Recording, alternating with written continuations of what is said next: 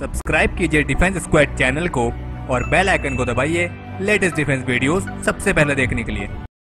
Hello friends, स्वागत है आपका डिफेंस ज्ञान सीरीज़ के एक फ्रेश एपिसोड में। हमारा आज का ये एपिसोड उन डिफेंस एस्पिरेंट्स के लिए बहुत खास होने वाला है, जो इंडियन नेवी को एज एन ऑफिसर ज्वाइन करना चाहते हैं। क्योंकि आज के एपिसोड में हम बात करेंगे उन तरीकों की, जिनके थ्रू आप इंडियन नेवी को एज एन ऑफिसर ज्वाइन करने के अपने ड्रीम को पूरा कर सकते हैं। So without wasting any time Let's begin.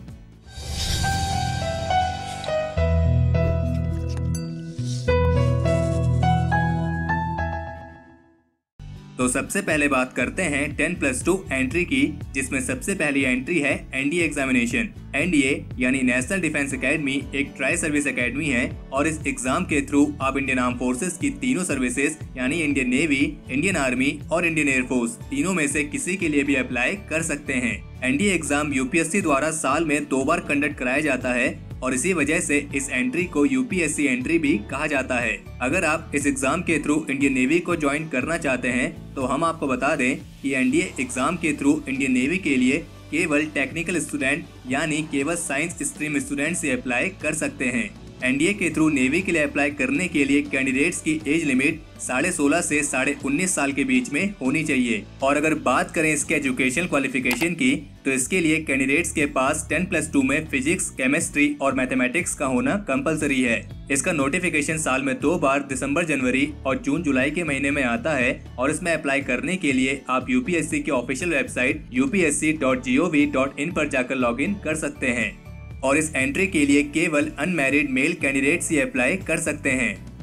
तो चलिए बात करते हैं अगली एंट्री की, जो है ten plus two B Tech entry ये एक डायरेक्ट एंट्री है और इसके लिए भी केवल टेक्निकल स्टूडेंट्स यानी साइंस स्ट्रीम स्टूडेंट्स ही अप्लाई कर सकते हैं। इसमें अप्लाई करने के लिए कैंडिडेट्स की एज लिमिट 17 से साढ़े उन्नीस साल के बीच में होनी चाहिए। और अगर बात करें इसके एजुकेशन क्वालिफिकेशन की तो इसके लिए कैंडिडेट्स के पास 10 प्लस टू में फिजिक्स केमिस्ट्री और मैथमेटिक्स में मिनिमम 70 परसेंट एग्रीगेट मार्क्स के साथ टेंथ और ट्वेल्थ में इंग्लिश में भी मिनिमम 50 परसेंट मार्क्स का होना ज़रूरी है। और इस एंट्री के लिए भी केवल अनमेरिड मेल कैंडिडेट्स ही एलिजिबल हैं, यानी फीमेल कैंडिडेट्स इस एंट्री के लिए अप्लाई नहीं कर सकती हैं। और इस एंट्री से जुड़ी सबसे महत्वपूर्ण बात यह है कि इसके लिए केवल वही साइंस स्ट्रीम स्टूडेंट्स अप्लाई कर सकते हैं जिन्होंने जेईई मेन एग्ज़ाम यानी ज्वाइंट एंट्रेंस एग्ज़ाम दिया है। क्योंकि इस एंट्री के थ्रू कैंडिडेट्स का सिलेक्शन मेरिट लिस्ट के आधार पर किया जाता है और ये मेरिट लिस्ट जेईई की ऑल इंडिया रैंक के आधार पर बनाई जाती है। इस एंट्री का भी नोटिफिकेशन साल में दो बार जून और दिसंबर के महीने में आता है और इसमें अप्लाई करने के लिए आप इंडियन नेवी की official website join Indian navy dot G O V dot in पर जाकर लॉग इन कर सकते हैं।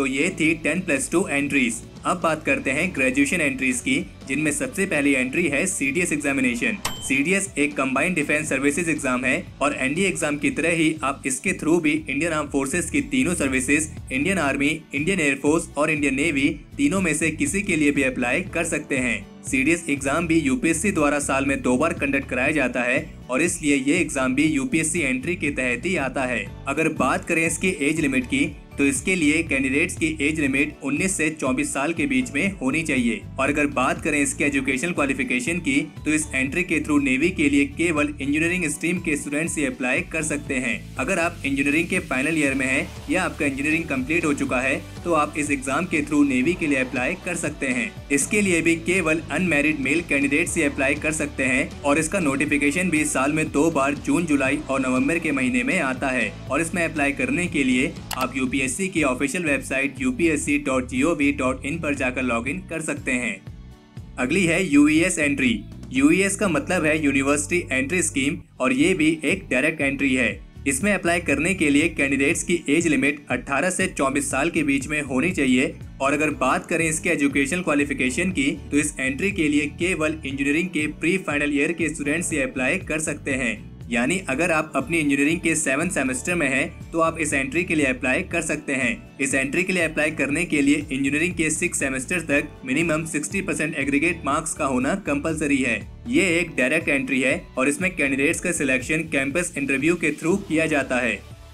अगली है एनसीसी स्पेशल एंट्री ये एक स्पेशल एंट्री है, जिसके थ्रू केवल एनसीसी के नेवी कैडेट्स ही अप्लाई कर सकते हैं। इसके लिए कैंडिडेट्स की एज लिमिट 19 से 25 साल के बीच में होनी चाहिए। और अगर बात करें इसके एजुकेशनल क्वालिफिकेशन की तो इसके लिए कैंडिडेट्स का मिनिमम 50 परसेंट एग्रीगेट मार्क्स के साथ ग्रेजुएट होना कंपलसरी है और इसके साथ ही कैंडिडेट्स के पास एनसीसी के सीनियर डिवीज़न में दो साल के सर्विस एक्सपीरियंस के साथ मिनिमम बी ग्रेड का सी सर्टिफिकेट होना कंपलसरी है। इस एंट्री के लिए भी केवल अनमेरिड मेल कैंडिडेट्स ही अप्लाई कर सकते हैं। इस एंट्री के थ्रू कैंडिडेट्स का सिलेक्शन डायरेक्ट एसएसबी इंटरव्यू के माध्यम से किया जाता है।